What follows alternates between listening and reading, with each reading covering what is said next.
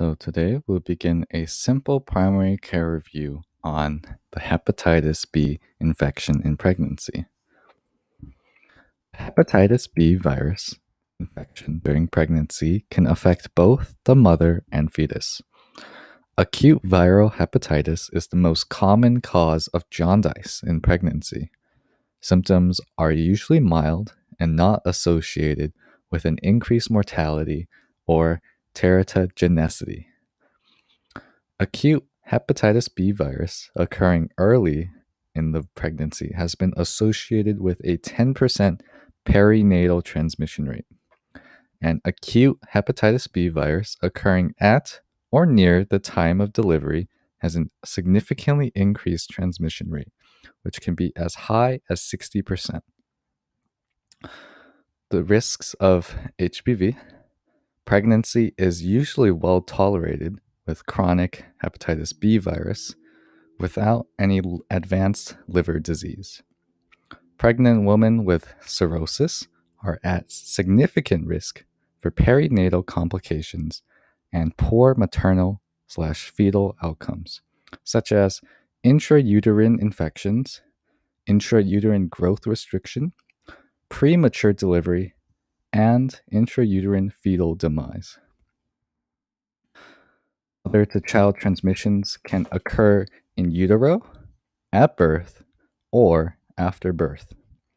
The risk of mother to child transmission of the hepatitis B virus is 90% if the mother is hepatitis B surface antigen positive and the infant does not receive any HBV vaccine or passive immunization, such as the hepatitis B immune globulin vaccine.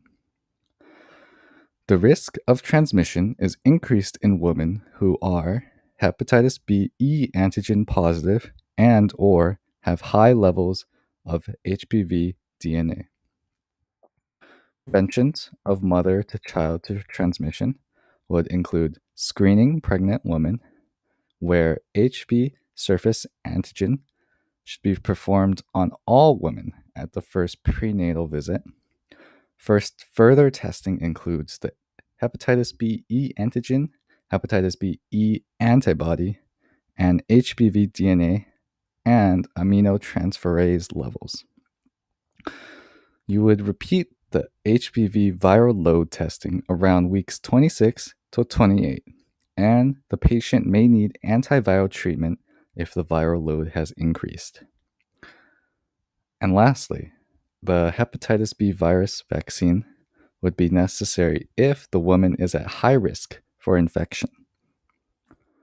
Newborn immunization newborns should receive the hepatitis B immune globulin and hepatitis B virus vaccine within 12 hours of de- delivery at different sites. Infants should then complete the hepatitis B vaccine series, where birth rate, weight greater than 2 kilograms or 4.4 pounds. The second and third doses should be given at 1 and 6 months of age. Or, while birth weight is less than 2 kilograms, three additional doses should be given one at 1, 2, and 6 months of age, or at 2, 4, and 6 months of age. Testing for the hepatitis B surface antigen and antibody should be performed at 9 to 12 months of age. Management or treatment for the mother would, ha- would have liver function tests every three months during pregnancy and for up to six months postpartum. Treatment of acute infection is mainly supportive and antiviral agents such as lamivudine would be necessary. Breastfeeding infants who receive the hepatitis B immune globulin and the first dose of the hepatitis B vaccine at birth can be breastfed. Mothers with chronic hepatitis B who are breastfeeding should also exercise care to prevent bleeding from cracked nipples. Carrier mothers should not participate in donating breast milk. And that concludes this presentation.